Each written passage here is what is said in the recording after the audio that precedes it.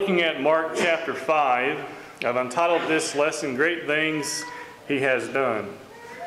Uh, on Wednesday night, Ryan and I were in our class and we were talking about this very uh, scripture, and I thought this would be a good lesson for us to discuss this evening. So that's uh, where this came from.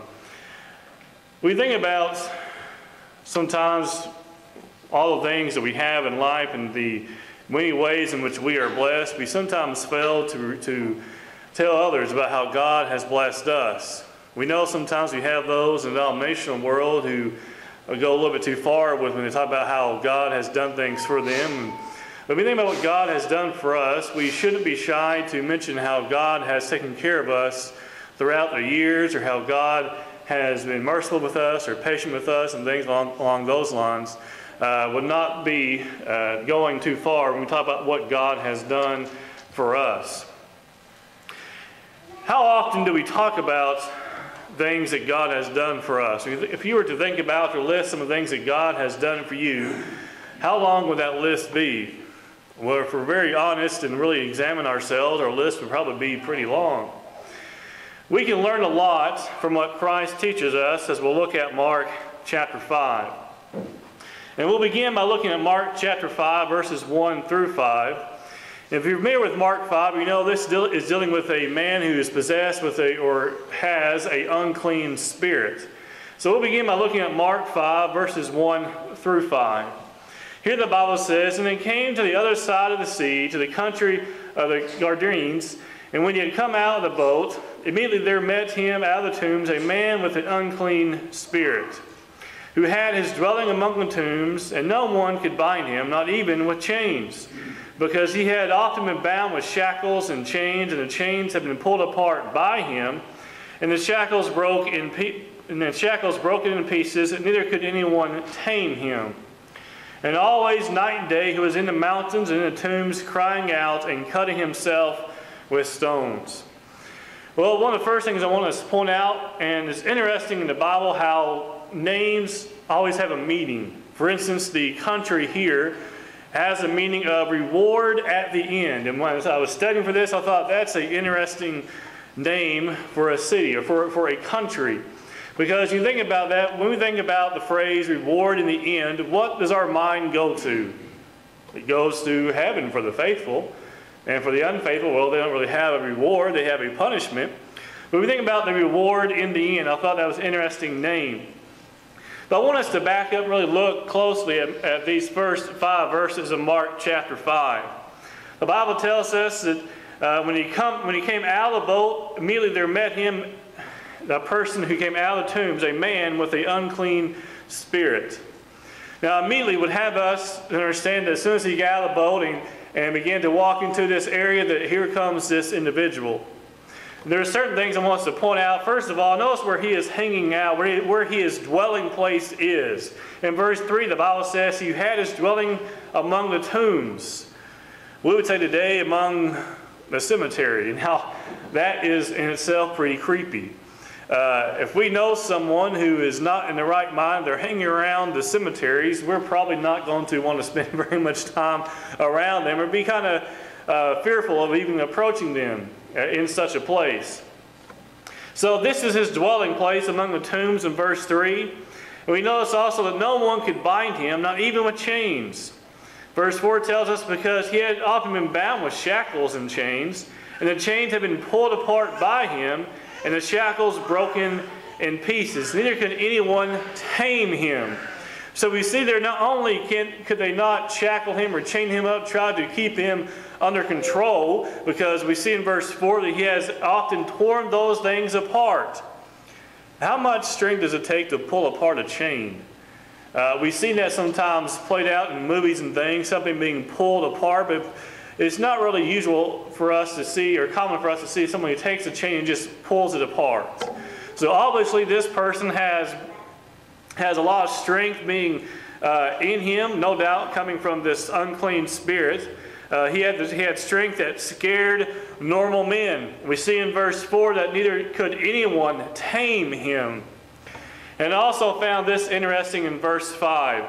But the Bible tells us, and always night and day he was in the mountains, in the tomb. So he's going back and forth between these two, these two places, crying out and cutting himself with stones. I remember I called up uh, Lisa's brother Jeremy, who has a degree now or a doctorate now in uh, counseling, and I was talking about this person I knew who was what we call. You ever heard someone who's what they, what they call a cutter? You know, you know what I'm talking about. Uh, there was someone who would literally just take whatever utensil may be and just cut themselves. And, and I was asking him, I called him up and asked him about some of these things, about, you know, what's the purpose behind this? How could you handle someone like this and, and things like that. And so when I read this verse in verse 5, that kind of came out to me, the idea of someone who cutting themselves with, with, with stones. They're, they're hurting themselves intentionally. Now, in this man's case, it's because the unclean spirit is within him. And as I was talking to uh, Lisa's brother about this, he really brought out the idea that uh, they some like the idea of, causing themselves pain. I don't understand that myself, but again, that's why they need help and need counseling to help them overcome those types of things. But this really reminded me of that because that's what this man is doing in verse 5. He is crying out and cutting himself with stones, no doubt because of the unclean spirit. So we really see a good picture of this man and the condition that he is in. And it's obvious he's in this condition because of this unclean spirit. But I want us to also notice Christ's effect upon the possessed man who had uh, this unclean spirit. And we'll go to the very next verse and following, verses 6 through 13. And let's look what the Bible says here in Mark chapter 5. When he saw Jesus from afar, that is the man who had the unclean spirit, notice what happens. When, when he saw Jesus from afar, he ran and worshipped him, and he cried out with a loud voice and said, What have I to do with you, Jesus, Son of the Most High? I implore you, by God, that you do not torment me. Now, it's interesting that who recognizes Christ right away? The unclean spirit. Or actually, we'll see in a moment the unclean spirits, plural. We see in verse 8 says, For he said to him, Come out of me, come out of the man, unclean spirit. Then he asked him, What is your name? And he answered, saying, My name is Legion, for we are many. That's always kind of creeps me out a little bit. I think about a man, he doesn't just have really one unclean spirit, but seems to have many. Because he says there in verse 9, My name is Legion, for we are many.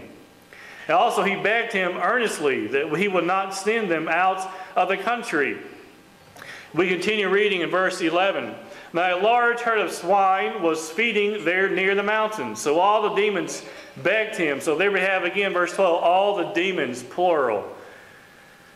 You think about this for a moment. A man having not just one unclean spirit, but having several.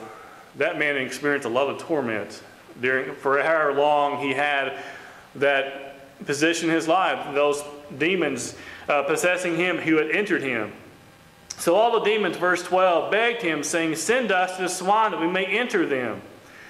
And at once Jesus gave them permission. Then the unclean spirits went out and entered the swine. There were about 2,000, that is, uh, uh, swine. And the herd ran violently down the steep place into the sea and drowned in the sea. Now, what I want us to think about here is we want to first notice the unclean spirits. As we back up here in verse 7, they feared Christ. We see in verse 7, they saw him from afar and ran, he ran and worshiped him. Verse 7, and he cried out with a loud voice and said, What, what have I to do with you, Jesus, Son of the Most High? I implore you. We, we could also say, beg you, by God, that you do not torment me. They, were, they had a certain fear of Christ. But also notice that they begged Christ, that he, and they asked not to be sent out of the country in verse 10. What does that tell us about Christ? That he had power over those unclean spirits. We saw there before that uh, it wasn't just one, but it was many legion, for we are many. But also notice we jump down to verse 13. And at once Jesus gave them permission. It's clear that Christ had power to cast these demons out. And it's interesting to me, You think about this sometimes, that he begged to be cast into what? The swine, and not to be cast out of the country. I always wondered if he didn't agree to let them go into the swine, where would he send them? Obviously, they wouldn't be anywhere near where, where they were at now. Uh, obviously, beyond, at least beyond that country, perhaps, uh, you know, maybe back to, to the Hadean realm, I don't know. But it's interesting they begged to stay in the country and, it's, and to, and they actually begged to go into the swine. In verse 13, he actually gives them permission. So we see that Christ, what is his effect upon the, the unclean spirits? They're immediately afraid of him. And second of all, they have to ask permission. They actually beg Christ not to cast them away, but send them into the, into the swine.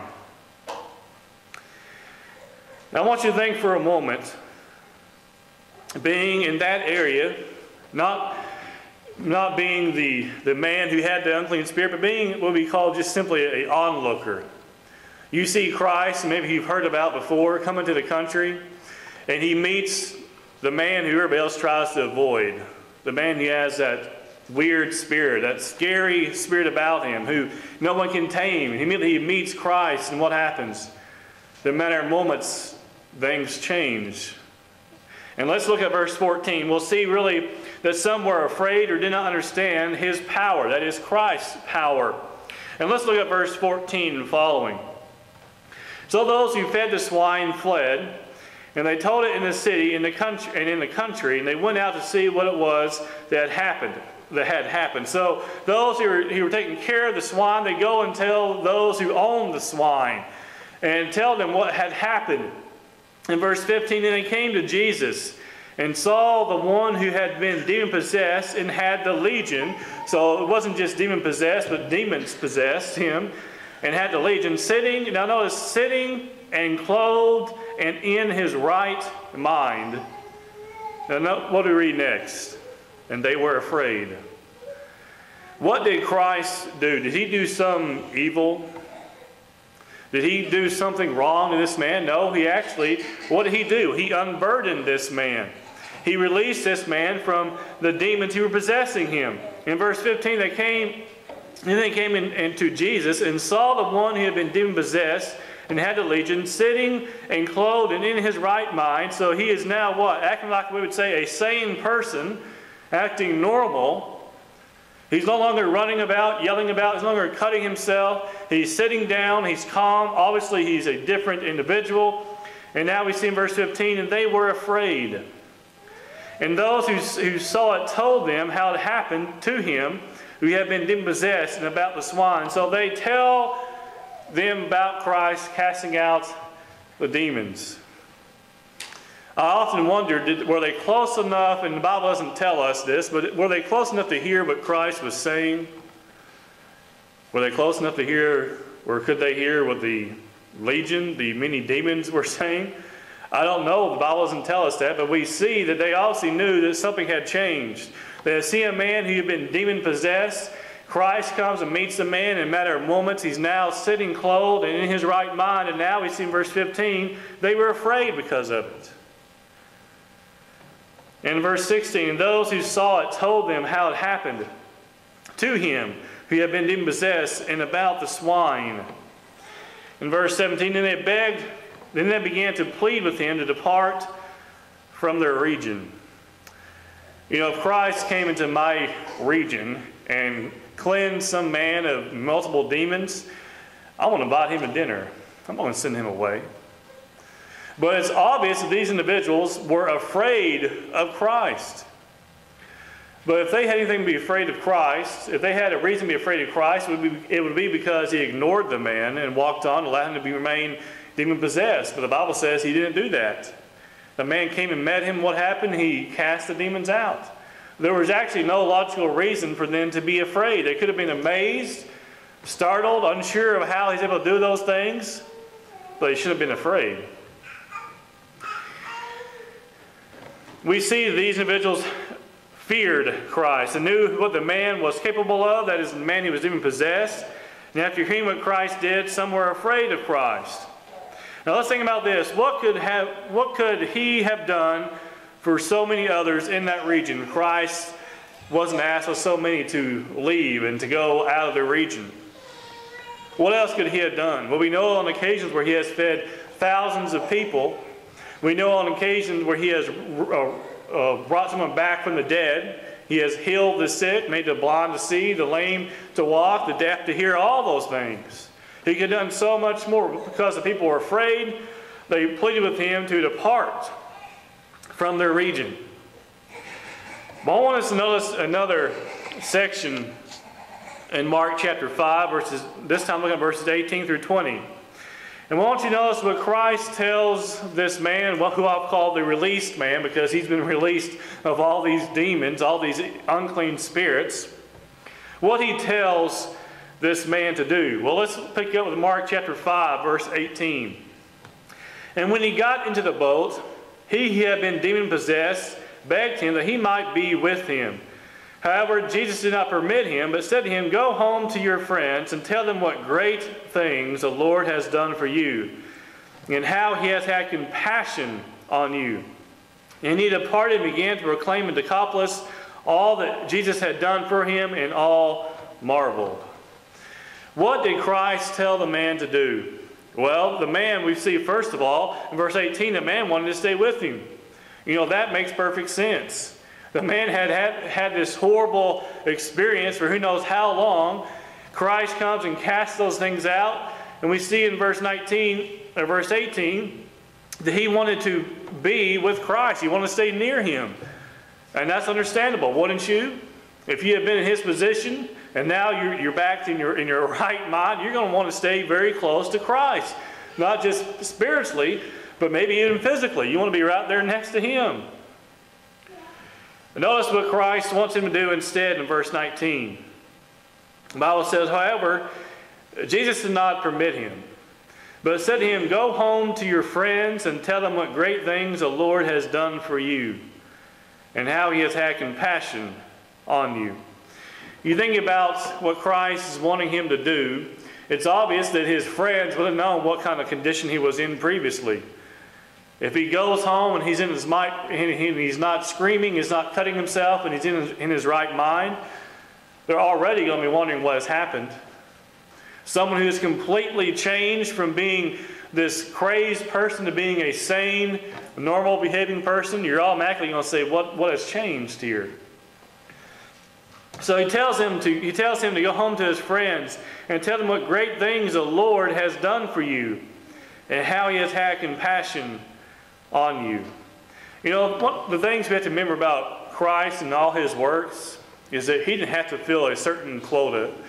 He didn't have to do perform all the miracles that he did. He chose when to, to heal people, when to do things, and when uh, just simply to keep on teaching and preaching. Not to say he didn't heal those who came to him, but he didn't have to do any of those things.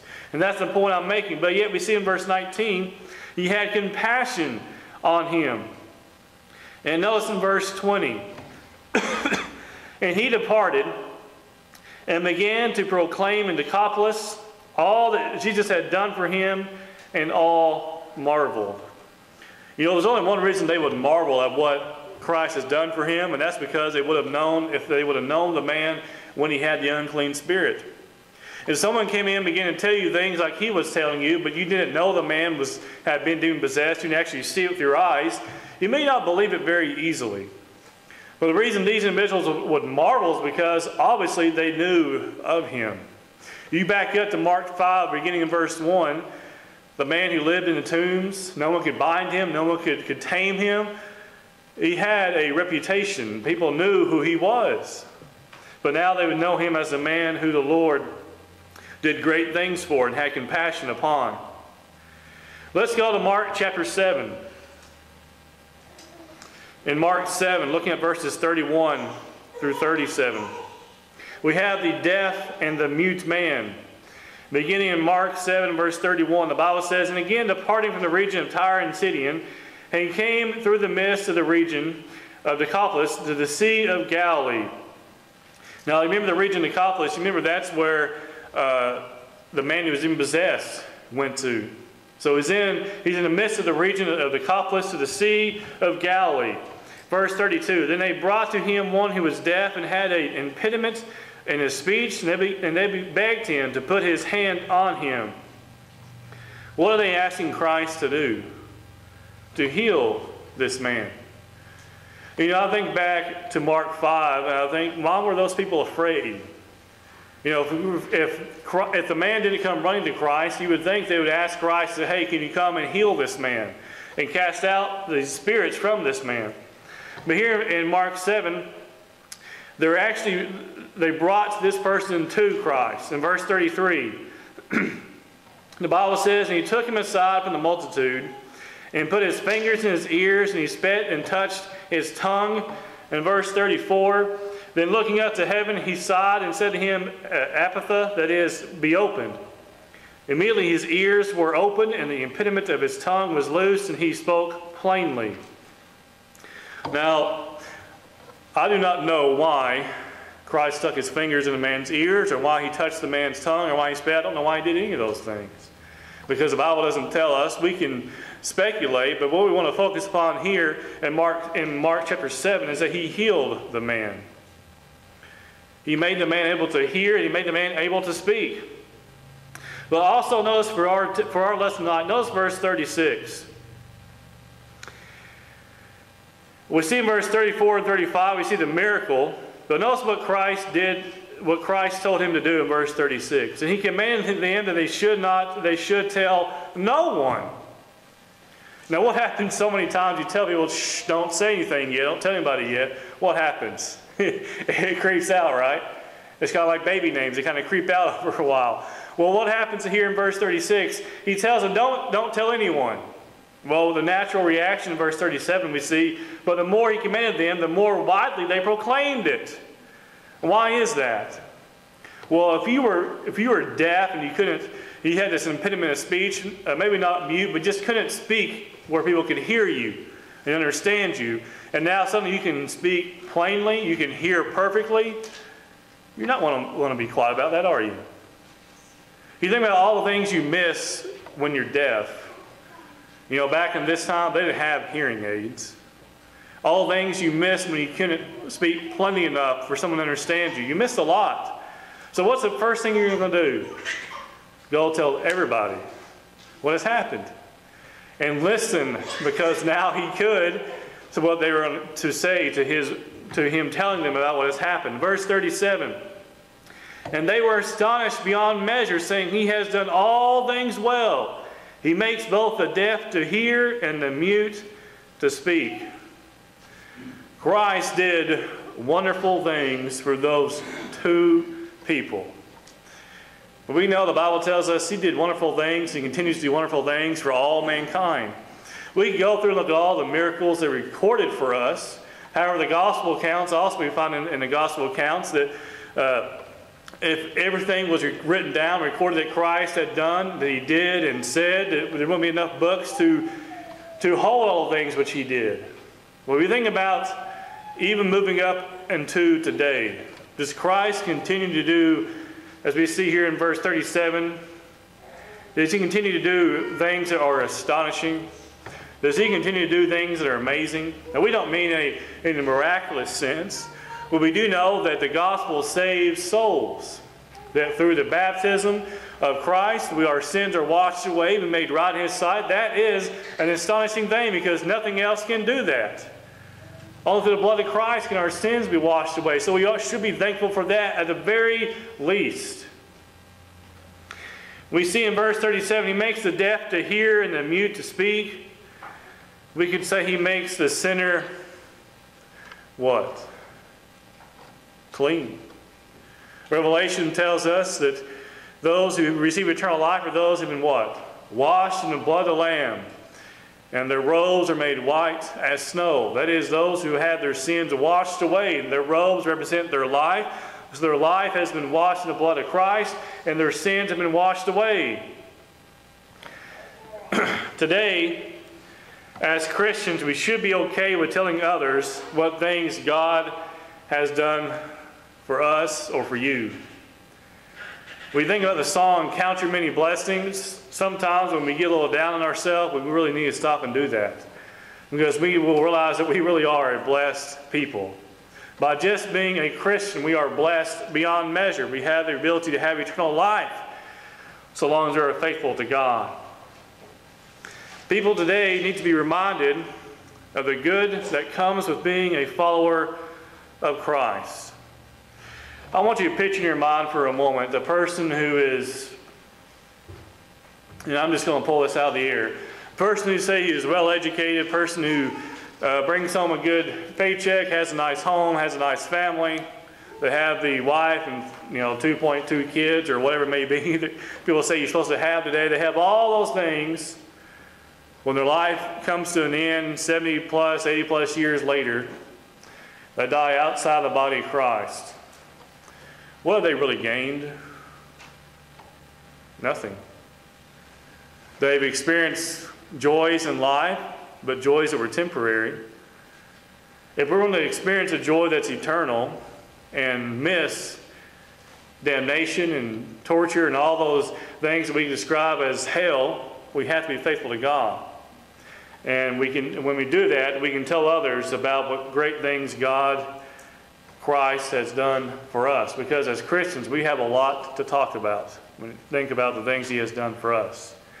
This evening, if you have any needs or concerns or prayer requests, you can come forward now. That's going to be stand and sing to encourage you.